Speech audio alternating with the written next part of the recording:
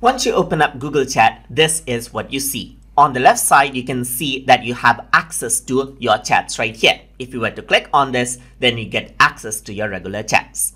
On the bottom, you got spaces. So spaces are like different groups that you can manage out over here. You can see the plus button right here, which allows you to uh, open up a new chat or open up a new space. Over here on the bottom, you can see Meet options as well, which you can use to generate out Google Meet links if you want to conduct meetings over here. Once you open up the chat, you can see that there are various options over here. Like you can go around over here, access out different options. You can go around, this is where you type in the messages and here are other options over here like emoji and so forth. You can go around over here on the top where you can see that you can search out for different space uh, messages, people, and inside of spaces over here as well.